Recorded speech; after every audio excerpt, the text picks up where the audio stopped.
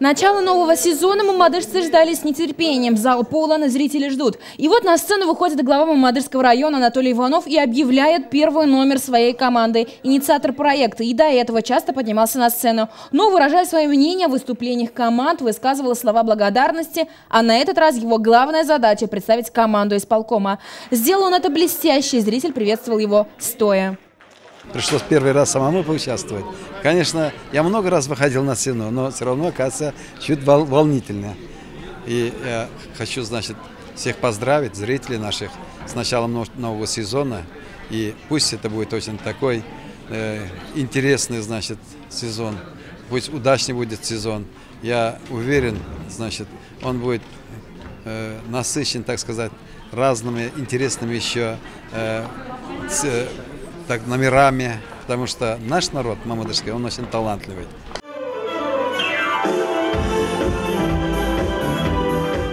Фестиваль «Звездопад» уже на протяжении нескольких лет удивляет мамадышского зрителя. Здесь начинают пить те, кто никогда не держал в руках микрофон. Состязания проходят между предприятиями и учреждениями города.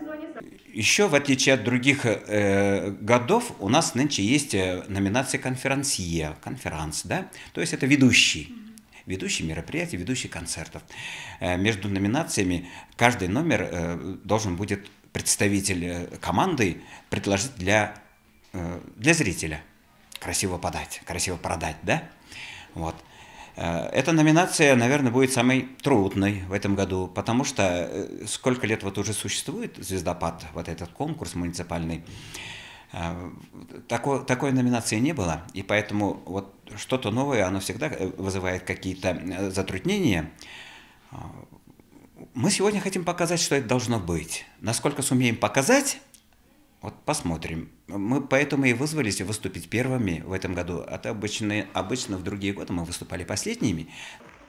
Новшеств в этом звездопаде очень много. В роли ведущей вместо Эльмиры Хайрулиной Алиса Спиридонова. А решение начать сезон с выступления отдела культуры исполком района было принято не случайно. Так артисты решили показать наглядно, каков формат нынешнего фестиваля. Номинаций в этом году 9. Это песни года на свободную тему с обязательным живым исполнением и бэк-вокалом, юмор и сатира на войне с изображением любого юмористического произведения на тему войны, миниатюра из жизни ТССР, инсценировка песни о Великой Отечественной войне, хореография на свободную тему, пародия на телешоу по выбору, финальная массовка на свободный жанр и свободную тематику, оценка конферансье и оценка участия руководителя.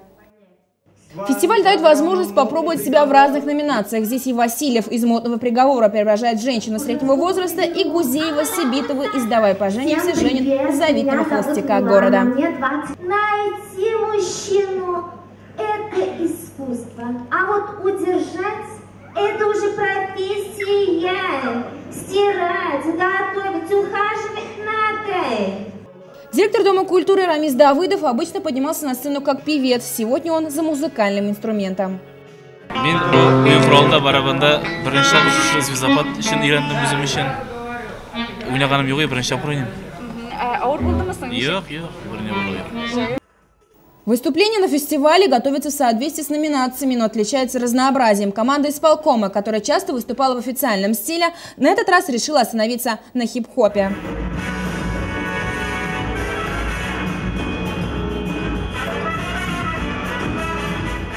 Мы ставим молодежный танец хип-хоп, который на этой сцене ни разу еще не был поставлен.